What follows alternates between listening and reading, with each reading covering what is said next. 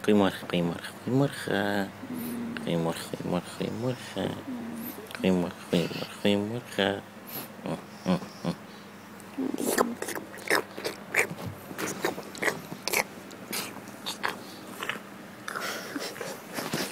Ga weg.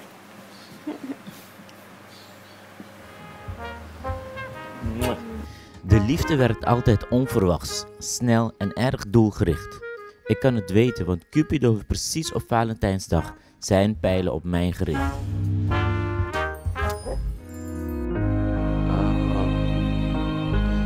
Mijn leven was toen een hel, eh, zwart, vreemd en onzeker, omdat ik enkele maanden daarvoor was gediagnosticeerd met de verwoestende ziekte kanker. Hier zitten ze, ehm, in mijn lever, daar, daar en in mijn ruggengraat. Bam, daar ging mijn leven. Alles viel om.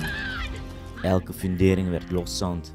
Mijn werk, mijn lichaam, mijn dromen, mijn innerlijke kracht. Mijn leven glipte gewoon uit mijn handen.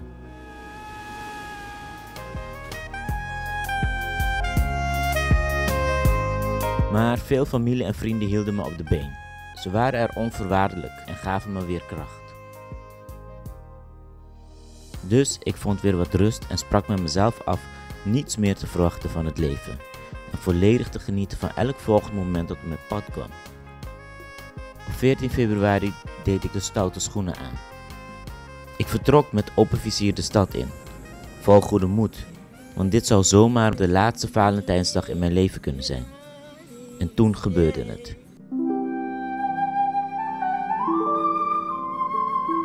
Ze stond daar, gewoon aan een staattafel te borrelen. En het eerste moment dat ik haar zag was ook het eerste moment van oogcontact. Tuurlijk durfde ik niet op haar af te stappen. Maar toen ik het uiteindelijk deed, greep die liefde ons. En wij hebben het ook gegrepen.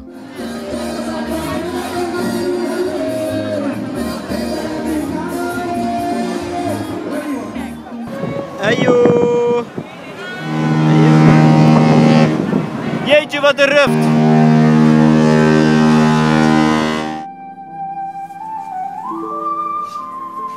En vanaf dat moment gaan we elke dag voor de liefde. Het is niet grappig wat je nou doet. We hebben lol, we dansen, we zingen. I'm Mr. Blue. I'm here to stay with Het maakt gewoon niet uit wanneer. Op de ontelbare momenten dat ze voor me moet zorgen. Of gewoon wanneer ik moe ben van alles. Het maakt niet uit. Wanneer die liefde langskomt, dan grijpen we het. Yeah, baby. En vandaar dus mijn oproep naar jou en jou en jou en jou en jou. Of je nou problemen hebt op het werk, baalt van je gestolen iPad, ruzie hebt met je buurman, of misschien een oogje op hem hebt. Heb je een pasgeboren kind? Of is je partner misschien vreemd gegaan? Beleef je je dromen of heb je geen dromen om na te streven? Of misschien zit je nu helemaal alleen als vrijgezel op Valentijnsdag dit filmpje te kijken. Wat die situatie ook is, vier de liefde. Geniet ervan. Haal alles, alles uit die liefde. Want liefde is onuitputtelijk. Gaat nooit op. Echt niet. Maar blijf vooral altijd goed opletten. Want liefde, die komt onverwachts.